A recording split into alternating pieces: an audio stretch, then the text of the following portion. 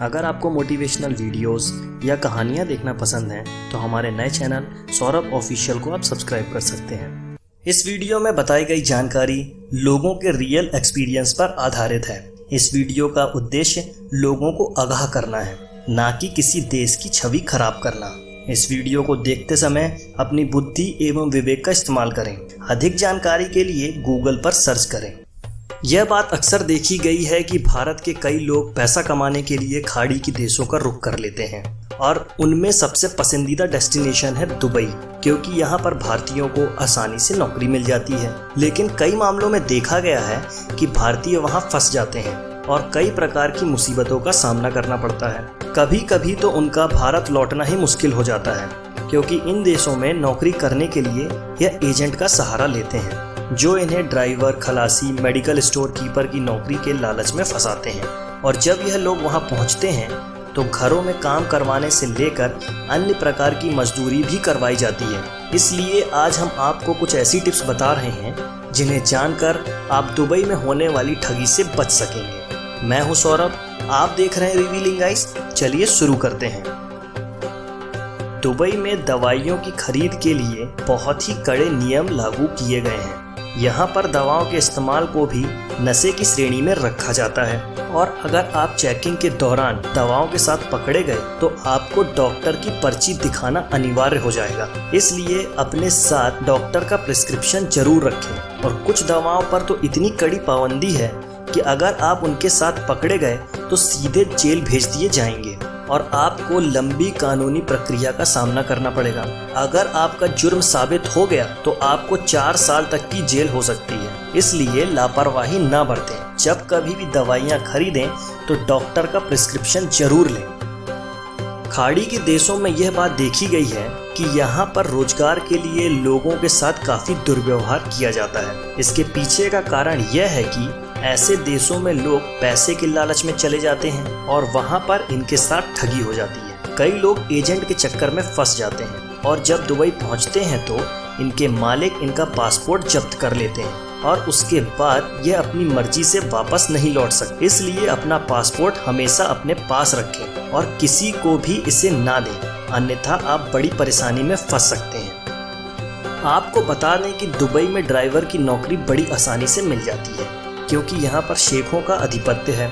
यहाँ पर रहने वाली 90 फ़ीसदी आबादी अमीर है और इनके पास कई प्रकार की गाड़ियाँ हैं। लेकिन यहाँ पर ड्राइवर की नौकरी आसान नहीं।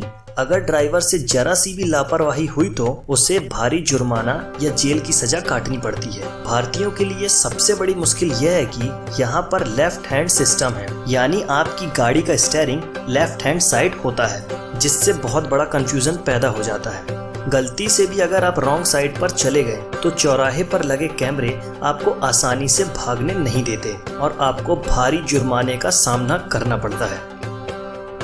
दुबई में आप बिना शादी के एक साथ नहीं रह सकते। इसके लिए वहाँ की सरकार ने काफ़ी सख्त कानून बना रखे हैं। इसके अलावा अगर आप ऐसा करते हुए पकड़े जाते हैं तो आपको आजीवन कैद या मौत की सजा भी हो सकती है। आप सार्वजनिक स्थलों पर हाथ पकड़कर या गले में हाथ डालकर नहीं चल सकते। यह सीधे तौर पर अपराध की श्रेणी में आता है। यह बात तो अधिकांश लोग जानते हैं कि यूनाइटेड अरब अमीरात में शराब प्रतिबंधित है। यहाँ पर शराब पीने के लिए भी लाइसेंस लेना पड़ता है। हालाँकि विदेशियों के लिए होटल में यह व्यवस्था की जाती है, लेकिन शराब पीकर घूमना अवैध है। लाइसेंस लेकर भी अगर आप शराब पी रहे हैं तो घर की चार दीवारी के अंदर ही पी सकते हैं। अगर आप इसे पीकर अपने जॉब पर जाएँगे तो इसके लिए सख्त मनाही है और कड़े नियम भी बनाए गए हैं। अगर आप अपनी जॉब पर ड्रग्स के नशे में पकड़े जाते हैं तो सीधे सलाखों के पीछे डाल दिया जाएगा। इतना ही नहीं, बिना लाइसेंस के शराब पीना गैर कानूनी है।